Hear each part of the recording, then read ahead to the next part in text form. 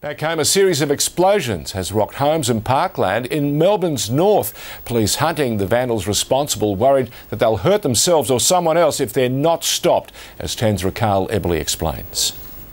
George, police are appealing to witnesses to three frightening explosions that rocked suburban streets here in Melbourne's northeast throughout last night. Now, the first unfolded in Kiwana Grove in Montmorency at around 8.30 when what's thought to have been a Molotov cocktail was detonated and it sent debris flying some 15 metres across the street. Uh, they're reporting loud explosions, windows rattling um, in the residential areas and the parkland, just the, uh, the sheer noise of the uh, device. Now, less than a couple of hours later, and another homemade bomb rocked this time Glen Park Road here in Eltham.